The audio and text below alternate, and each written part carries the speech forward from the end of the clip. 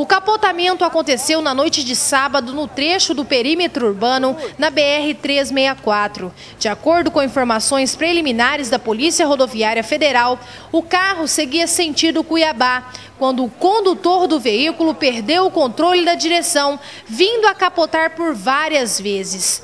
O motorista do veículo foi identificado como Cleverson Rodrigues, de 19 anos. Ele que, após o acidente, fugiu do local. Com o impacto, o passageiro Jefferson dos Santos Melo, de 22 anos, foi lançado para fora do veículo. O SAMU esteve no local na tentativa de dar os primeiros socorros à vítima, mas o jovem já estava morto. Fomos informados desse triste acidente. Aqui, pelo visto, o rapaz vinha no sentido crescente aqui da rodovia 364, perdeu o controle do seu veículo e veio a capotar e ser ejetado do mesmo. Provavelmente estava sem o cinto de segurança e está aí falecido em cima da pista. Ele estava sozinho no veículo?